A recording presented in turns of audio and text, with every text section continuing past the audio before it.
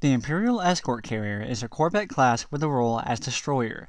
They are purchasable by the Empire starting at Tech Level 2 for 3,000 credits on planets with an advanced fighter dockyard.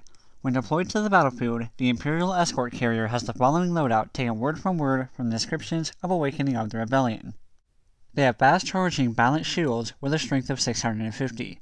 Balanced shields don't reduce or increase the damage taken from any weapon type and can deal with most attacking units rather well. They have a hull strength of 600 with light armor. Light armor reduces the damage taken from all laser cannons, but takes additional damage from medium and heavy turbo lasers. They have a speed of 375 with a high acceleration and turn. Their sensor range is 2500 with a max weapon range of 2000 and an ideal weapon range of 1500.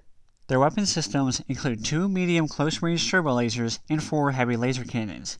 Medium close range turbo lasers are most effective and accurate at close ranges against cruisers and capital ships. Heavy laser cannons excel at taking out small ships like corvettes and frigates. Imperial escort carriers have a hangar bay that holds one TIE Hunter flight with one in reserve.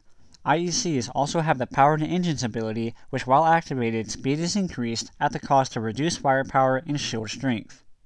With all that being said, Imperial escort carriers are the more hard-hitting corvettes for the Empire. Their weapon systems are built for the anti-frigate role, and they have the speed to avoid larger ships as they hunt down the backline quasars and eddy cruisers. They also carry the Imperial version of X-Wings and TIE Hunters, which can screen the IECs from fighters, then use their proton torpedoes to increase damage output on bigger ships. I believe these ships to be best used against space stations, as they provide many small ships for the rebels and the Black Sun that are harder to kill. These small ships are perfect for the Imperial escort carrier's weapons. They also are cheap and only take up 7 tactical population space, with the biggest drawback probably being the Tech 2 requirement.